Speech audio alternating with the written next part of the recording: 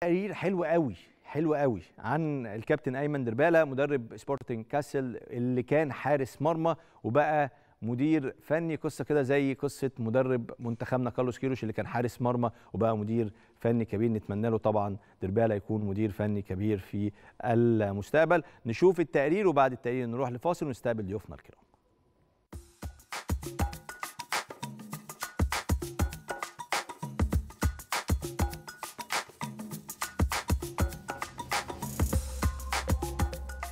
والله هو طبعا آه، لقب كيروش الغلابة ده طبعا دي حاجة فخر ليا وحاجة شرف ليا إن يتم مقارنتي بمدرب عالمي زي آه، كيروش آه، نتفق أنا وهو أو نتشابه في إن هو كان برضه حارس مرمى ومرن شوية حراس مرمى وبعدين دلوقتي أصبح مدير فني لمنتخب مصر وقبليها طبعا مانشستر يونايتد وريال مدريد ومنتخب إيران ومنتخبات عديدة و...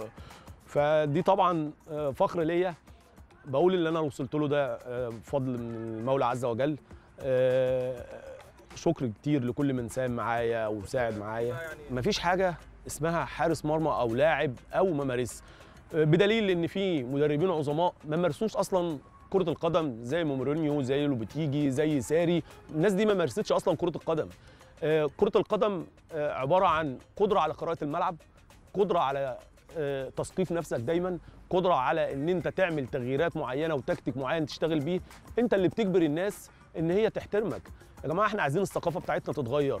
أنت احكم عليا بشغلي احكم عليا بنتائجي. والدليل زي ما أنا بقول لحضرتك مورينيو ما مارسي من أعظم مدربين العالم. الناس كلها بتجري. أجره قد إيه؟ الناس كلها بتجري عليه وبتطلبه.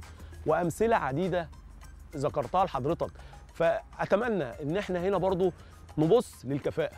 ما نبصش كشو إعلامي يتسلط أو شبكة وكلاء أو أو أو.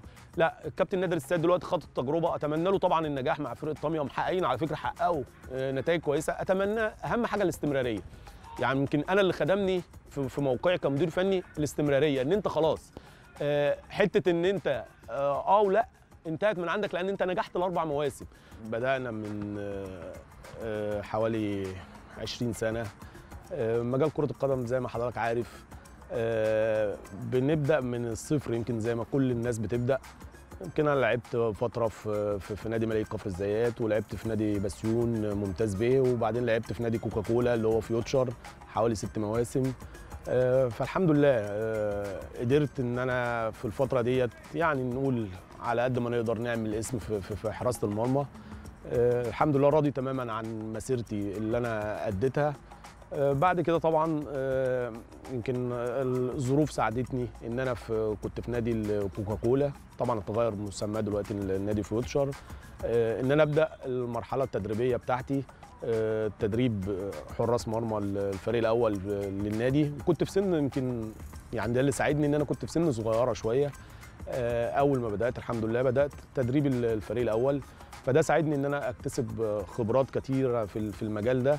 بجانب الحمد لله ان أنا دراستي أصلا التربية الرياضيه يعني برضو حضرتك زي ما انت عارف ان الدراسة وال- والعلم بيفرق كتير في في المجال التدريبي. خطوة ان أنا ابقى مدير فني أنا الحمد لله ديت يمكن رابع موسم ليا مدير فني. حصل كان عندنا مباراة خارج الملعب في القسم الثالث وكان حصل المدير الفني آه، تقدم باعتذار وكنا رايحين المباراة فتم تكليفي من الإدارة بإن أنا أقود اللقاء خارج الملعب.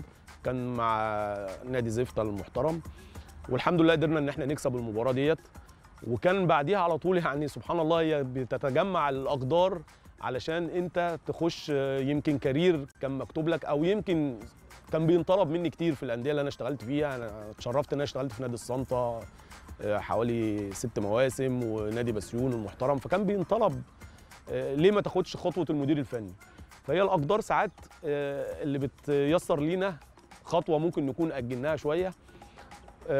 فبعديها كان في ماتش في كاس مصر مع نادي تسوق وخارج الملعب برضه سبحان الله كانت الماتشات كلها صعبة. وربنا كرمنا وقدرنا نكسب المباراة ديت. بعديها كان برضه عندنا ماتش في الدوري فقدرنا نكسب. فبدأ من هنا مستر يوسف آه، إن هو يعني بيتكلم معايا إنت عندك قدرات فنية إنت ليه ما تاخدش خطوة المدير الفني؟ فطبعا إحنا المجتمع بتاعنا أو أو الرياضي مش متعود إن هو مدرب حراس مرمى يتحول لمدير فني. رغم المفروض إن ال- الحكم بنتيجة العمل مش الحكم بال- بالحاجة. آه، الحكم بالنتائج قدرتك على تكوين فريق آه، اختيار عناصر الفريق ده النجاحات اللي أنت بتقدمها التكتيك اللي أنت بتشتغل بيه. فطبعا كان استغراب آه، ناس كتير راهنت على فشل التجربة. ال- الوحيد اللي خد الريسك زي ما أنا بقول لحضرتك إدارة النادي المحترمة. فعشان كده آه، أي نجاح بينسب آه، إحنا شركاء فيه. النجاح مش عشان ال- الكابتن أيمن دلوقتي هو اللي في الصورة يبقى كل النجاح ينسب له لا. آه، اولا توفيق المولى عز وجل ثانيا ثقة إدارة ونادي في شخصي أنا ال- الضعيف. جهاز فني معاون ليا على أعلى مستوى.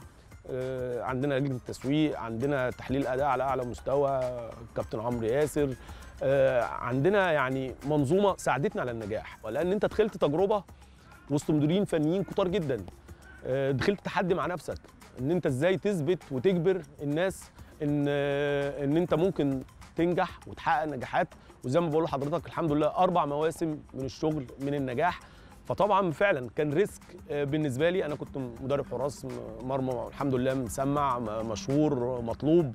فإن أنت تاخد خطوة المدير الفني ممكن تأثر عليك بعد كده. ممكن كنت تفشل وينتهي مسيرتك كمدرب حراس مرمى وتنتهي مسيرتك كمدير فني.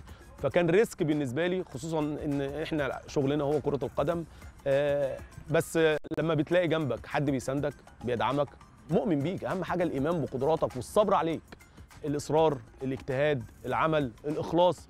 والإخلاص ده عمله نادره دلوقتي آه، في في في فربنا بيدي دايما للمخلص والمجتهد واللي عنده علم واللي عنده خبرة واللي عنده دراية واللي عنده قبل ده كله عنده موهبة بتساعده إن هو يقدر يساعد الفريق اللي هو فيه أو يساعد الأولاد اللي معاه إن هو يوصل بيهم آه، للاحترافية في كرة القدم.